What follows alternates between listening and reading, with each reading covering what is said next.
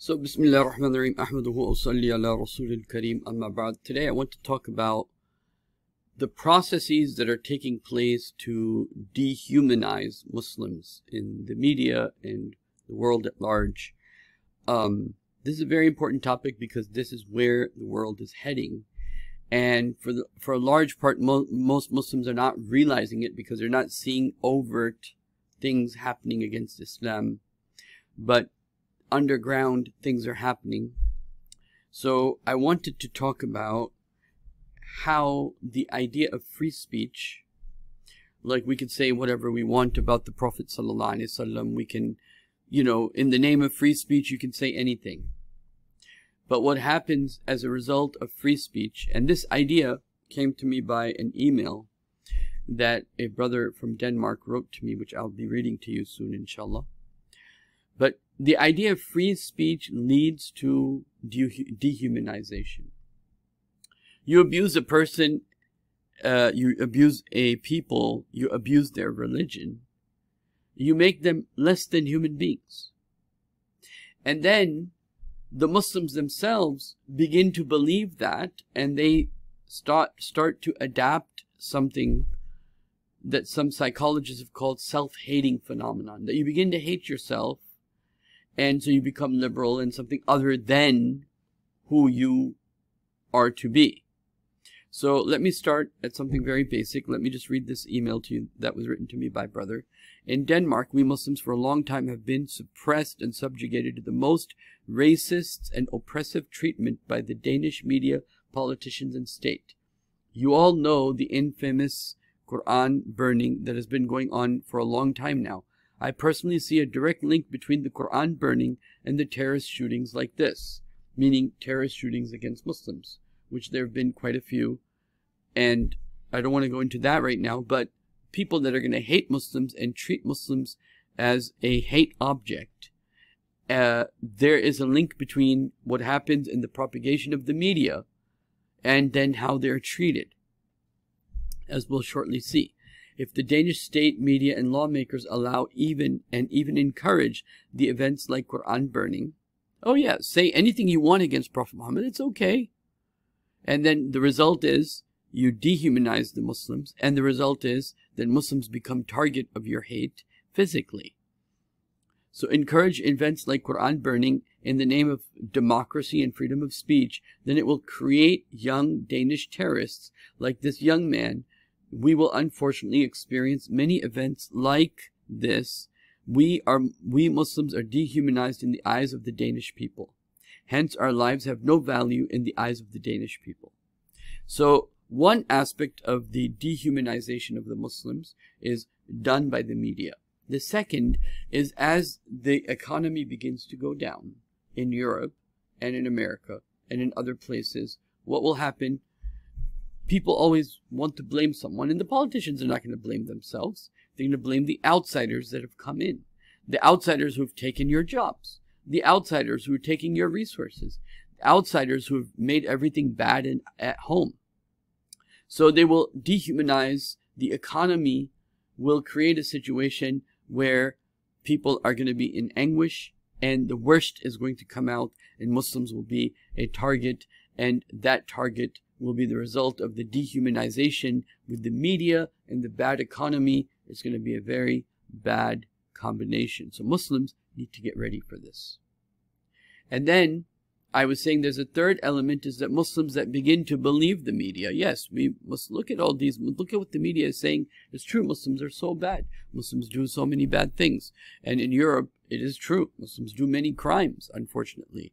But the result of the good Muslims is they begin to have self-hate. And they become liberal Muslims, trying to run away from the, who they actually are.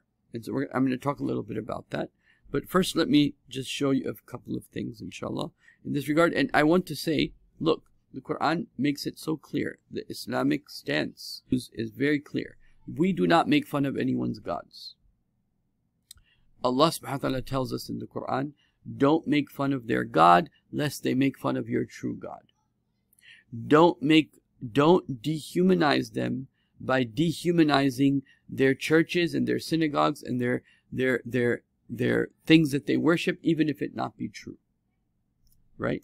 So Allah subhanahu wa ta'ala says there's a limit. Arguments are there. Rationality is there. Even sarcasm to bring about the truth could be allowed. But to make them a target because of their religion, la ikrah there's no compulsion in deen. And you don't dehumanize them. If you want to give da'wah to somebody, you can't dehumanize them. If you want to bring them, invite them to Islam, you have to increase their sense of humanity and their fitrah. And so, uh, let me start by this verse of the Quran. Allah subhanahu wa ta'ala says, بعد أعوذ بالله من الشيطان الرجيم ولا تصبوا الذين يدعون من دون الله Don't curse, don't insult those who call other than Allah. فيسبون الله عدوا بغير علم and then they will insult your Allah without any knowledge. Okay? كذلك زينا لكل أمم أعمالهم This is how Allah subhanahu wa ta'ala, we made it seem this ego trip. You know, I made fun of you, I'm good. You know, this a'mal, this deed that you do, it looks good, but it's not good. It has very bad negative effects. And then what does Allah say? ثم إلى إلى إلى ربهم مرجعهم فينبئهم بما كانوا يعملون. You and them, you did that did wrong by cursing their God, and they that are worshiping the wrong, you're all going to go back to Allah, and Allah will let you know what you did. So and then in another verse, Allah subhanahu wa ta'ala makes it clear that don't break down the churches and the synagogues and the masajids because Allah's name is mentioned here. When you break down people's churches or their synagogues or their places of worship, you are beginning the process of dehumanizing them. When you make fun of Prophet Muhammad you are dehumanizing the Muslims. Okay? You're making them less than human beings and you're saying that they're stupid and that they don't know what they're doing and that they're not human.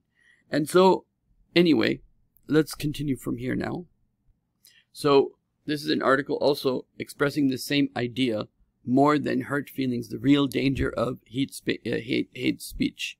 And, you know, uh, white supremacy, ban Muslim wall, Trump, you know, all this type of stuff, uh, hail uh, Trump, uh, this type of dehumanization uh, is extremely has very bad effects on people. What dehumanizing speech? What is dehumanizing speech?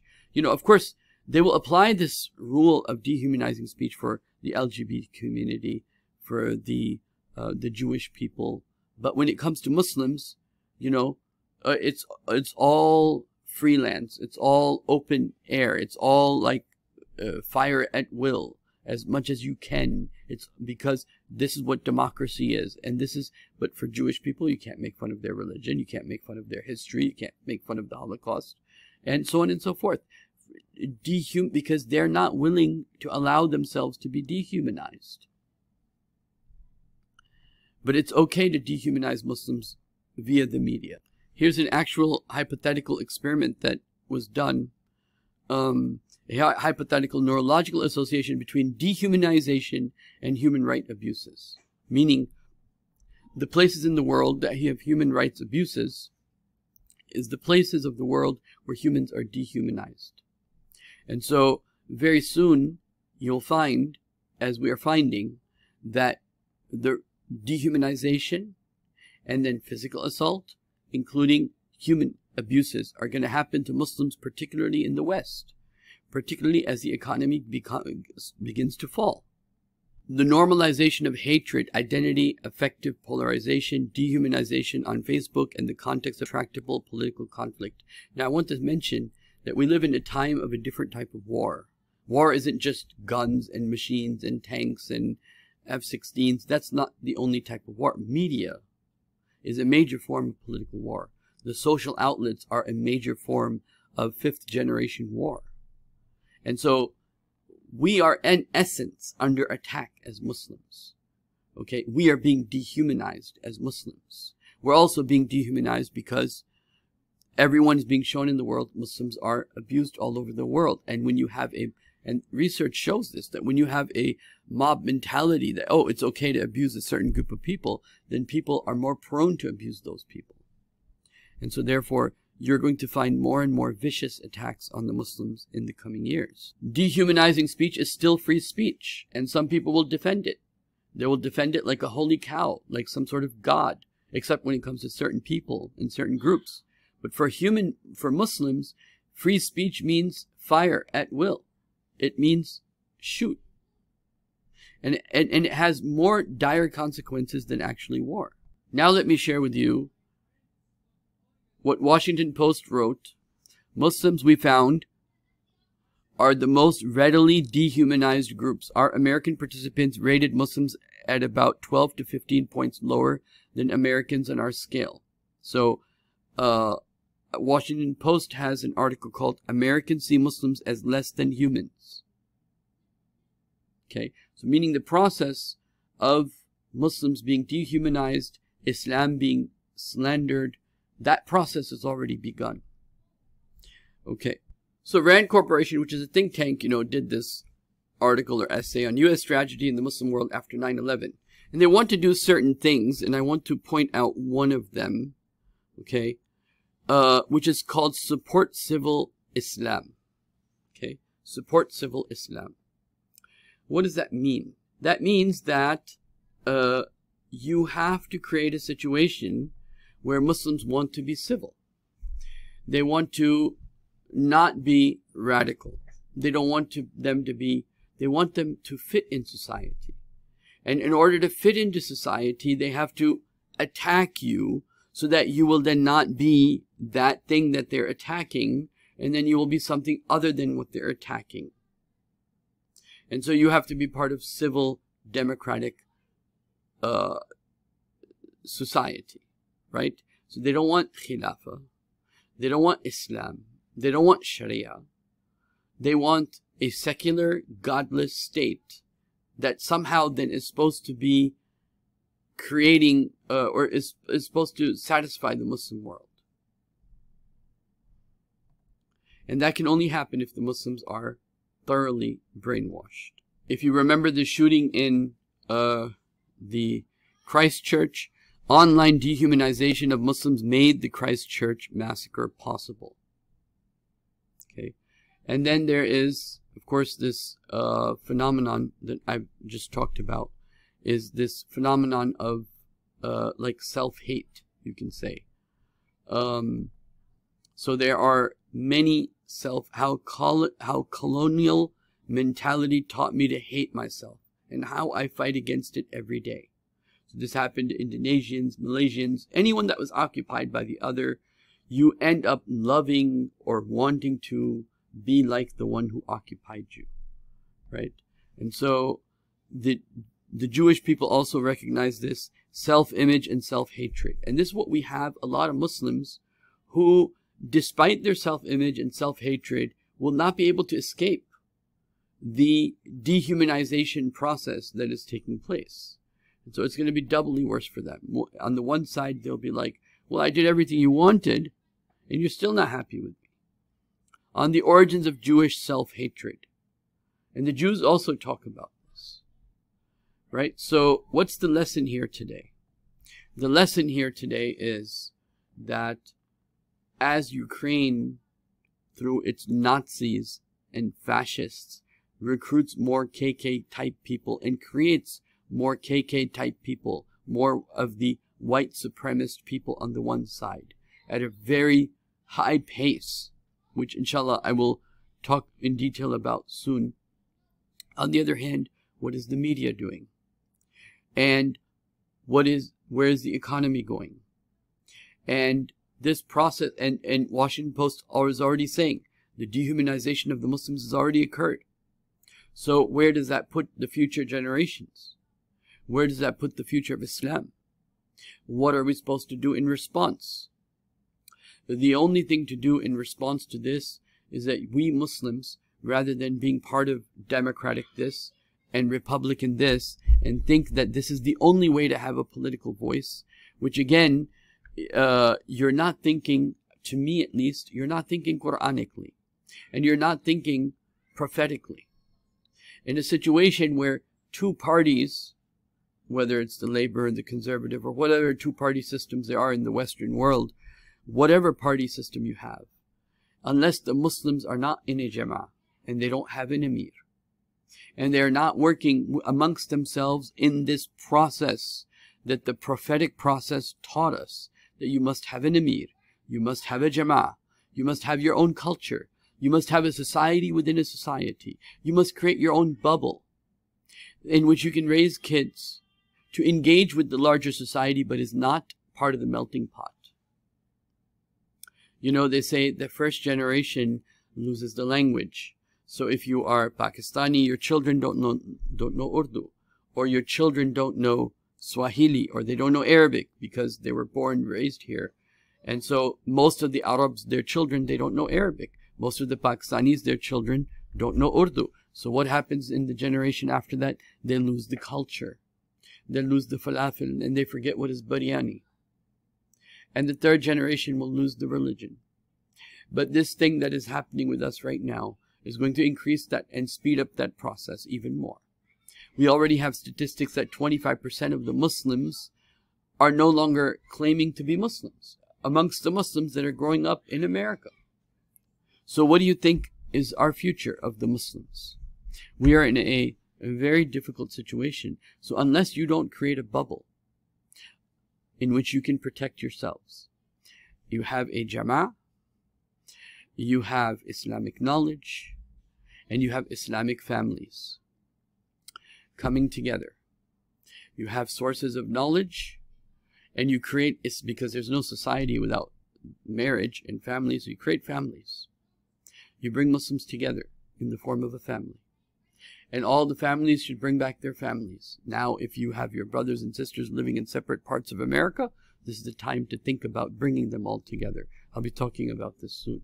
This is very important for the future of the Muslims and the future of Islam. And you bring together your families. You bring back your brothers and sisters together. You bring back your in-laws from the different relatives you have together. You bring them all back you form a jama'ah, you have an emir, and you create your own bubble. And you do the politics of Islam, which is radical, because it is politics of doing da'wah. It is about teaching people about Islam. It is about building alliances with good Christians who actually hold Christian values. Not secularized Christians, but real Christians. Those Christians who will try to uphold the true teachings of the Bible. You form a jama'ah. If you form a jama'ah that is of that type, then what will be the result? It will be what happened to Malcolm X. What happened to Malcolm X? They asked Malcolm X, what do you want? What can we do for you? That's when you become a jama'ah under one emir. And there doesn't have to be one emir in each location. There can be different, but you're working in the Islamic system where you have an emir and you have a shura and you're doing your jama'ah and you're creating a society within a society. And Muslims need to start living not in suburbia, but living together in like the ghettos. The ghettoization is the only form of protection that the black people in America have. The ghettoization was the only form of protection the Jewish people prior had in Europe when they were being oppressed. It is necessary for Muslims to come together and to pull their resources together. So you bring Muslims together where they occupy an entire block, an entire half mile, entire five miles, living together. Instead of living alone in the suburbia, you live together. You form your for, you form your stores together. You form your communities together. This is the only way for the future that you must have a jama'ah. And this jama'ah must be ready to move out of the cities. This jama'ah must get prepared and must do fatwa.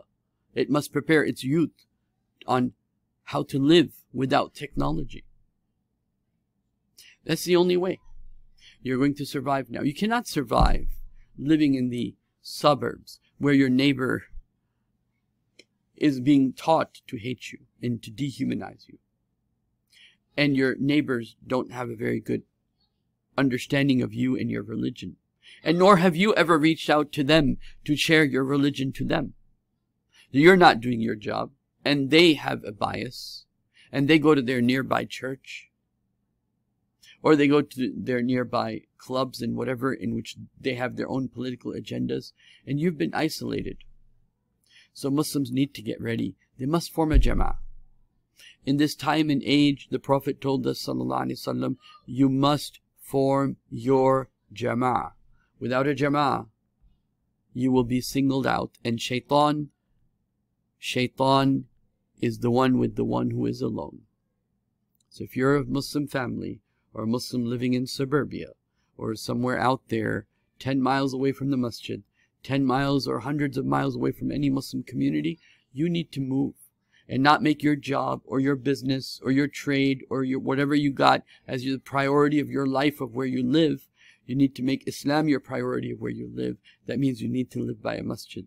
And not a masjid is nothing, it's just a building, unless there's a community there. You must move to where there's a community, a Muslim community, so you can act together. In times of crisis, Muslims will come together, but they have to be living together.